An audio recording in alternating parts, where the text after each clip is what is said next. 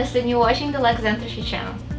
In today's episode, we're going to try to answer a question. How do you save money at the dentist? We'll talk about some steps that you're going to be able to take now, some steps that you can take at the, earliest convenience, and what you should be planning in the long run when it comes to saving money at the dentist. But before we get started, let's not be lazy and smash that like button and subscribe to the channel if you have not done so already. So steps that you can take now. Number one, way to save on dentistry is to prevent dental problems that you are still able to control in, your in the first place. We are talking about prevention. What are the key principles in prevention? Proper oral hygiene at home, that we constantly try to stress about this on the channel. Yes, consistent flossing and brushing could be tiring, difficult and discouraging. But it what will make your teeth and gums as healthy as possible. Your dentist or hygienist should be able to suggest you the appropriate ways to take care of your mouth and recommend you any modifications in your home care if necessary. So now you're considered and possibly committed to starting your journey in a proper oral care at home. You're likely to have some questions. What to do with the floss under the bridge or how to take care of the certain dental appliances or why the gums are still bleeding even after I floss. These are all normal and common questions to ask your dental professionals.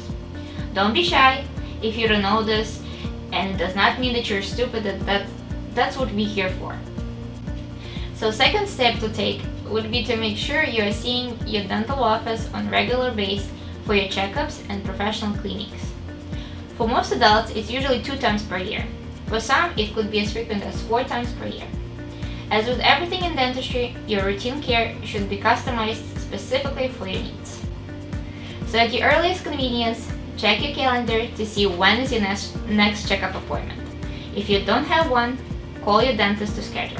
And if you don't have a dentist or have not seen one for a very long time, it's time to find yourself a new dental home. Just do it. When you see a dentist on a routine basis and practice good oral care at home, and you're given a treatment plan, how can you save money now? First, find out what kind of treatment plan it is. Is it to fix cavities or broken teeth, or is it a cosmetic smile makeover that you always dreamed of? Each of those plans are very different, where one is an essential plan and the second is elective. Complete your essential part of care as soon as you can, because given time, small dental problems will likely lead to bigger problems, and bigger out-of-the-pocket expenses. And if you do want to go with that beautiful smile makeover that you always dreamed about, you should have a financial plan of how you're going to afford it. One option would be to start allocating some funds from every paycheck that you get that would go toward the elective care. After some time passes, depending on overall cost of the treatment, you will be able to get that smile that you always dreamed about. The second option for elective care or an expensive necessary work where one cannot wait, you may want to check out if your dentist works with a third-party lending companies that can provide zero interest financing.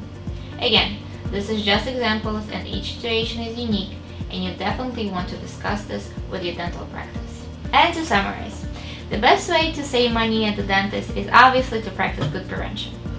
Visit your dentist on a regular basis and have allocated monthly savings for your possible dental needs. Remember, dentistry can be expensive, but if you have allocated budget for your medical and dental, you will be in much better shoes if some problems suddenly appear. You will be ready to deal with it anytime. Thank you for watching until the end. Like and subscribe to the channel if you want to continue learning more about dentistry. Mm-hmm. Take care now.